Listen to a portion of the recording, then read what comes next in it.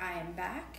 And remember the chicken, um, the chicken that I made the other day? And then I said I always save the leftover chicken, the carcass, freeze it, or um, use it in the immediate to make a chicken stock. So that's what I'm doing. Today I'm making um, a traditional, I guess it's kind of my play on a traditional Colombian soup. Um, I'm half Puerto Rican, anybody didn't know that. So a lot of my flavors tend to come from that space. So I'm adding a couple of um, staples that I use into this soup. So it's it's not an exact interpretation, but it's loosely based. But the first thing we need to do is make our chicken stock.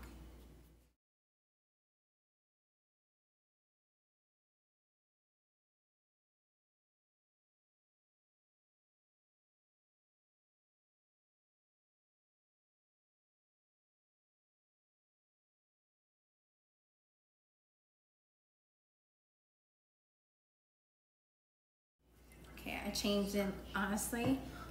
I so look forward to putting these pajamas on. They feel amazing. They're so comfortable. Like, I don't know. I, you know, I'm gonna do a review on the collection, but like these pajamas, I like take everything off and put these on. They're so good. Anyway, so I wanna be comfortable.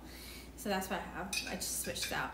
Okay, so I have the chicken stock going, um, and now I'm just kind of prepping everything. I don't need everything just yet, but I'm I definitely need some carrots. What are you doing? Oh, Cruz is putting away our gallon of apple juice. um, some carrots.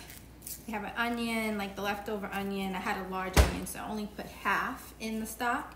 So onion, there's like three types of potatoes in this soup. So there's some russet, some yellow uh, Yukon, and then some red potatoes. Um, this is achote oil. Achiote oil, I think that's how you say it. I'm like a fake Puerto Rican. Um, and it's annatto seeds that have been steeped in oil. So olive oil is usually the one that I use for it. So it's about, I think quarter, so it's about a quarter cup of annatto seed. Um, let me see if I can find it. Okay, so it looks like this.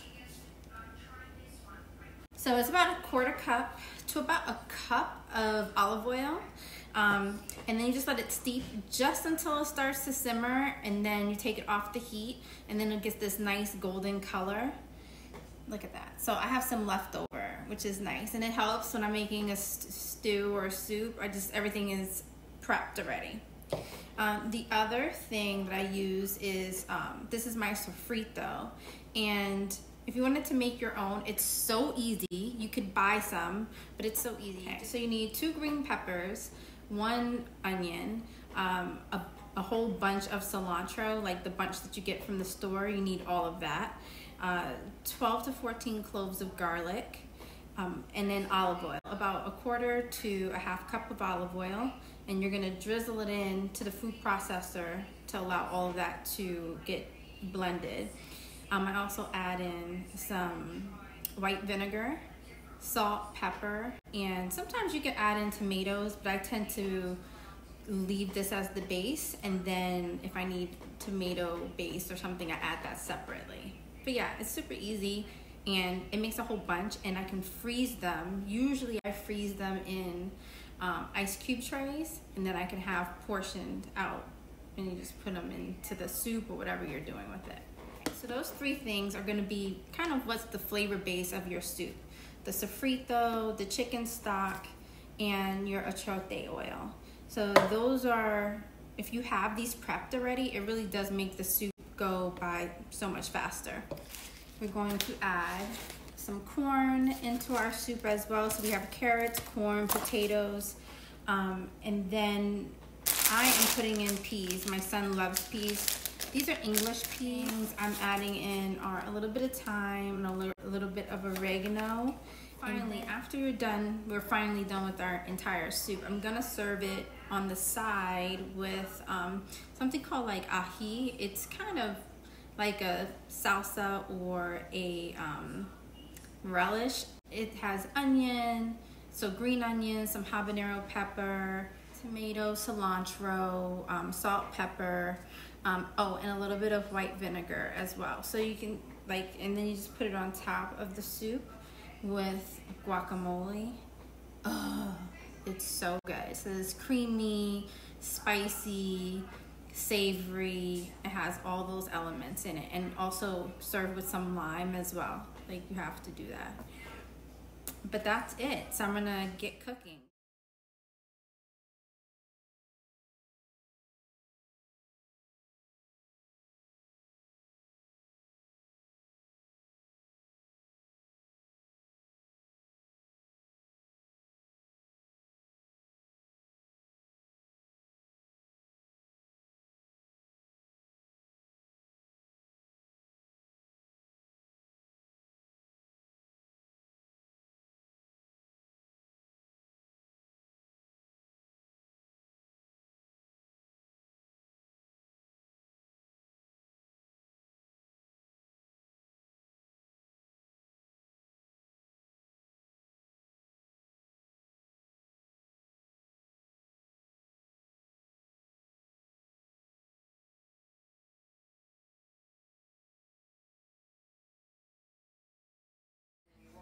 Okay, so now we got the soup going. I'm gonna probably cook for half hour, 45 minutes, just for everything to get nice, soft, and tender. The chicken's already cooked in there. I wrapped my hair up. It's very steamy in here, and I just um, blow dried my hair, so we're wrapping it up. um, so now we're making the garnish, which is that ají, which is like almost like a relish, and I'm adding all of the items into the food processor. So we have scallions, onion, tomato, habanero, lime juice, cilantro, and some salt. And we're just gonna pulse it in a food processor um, until it's ready.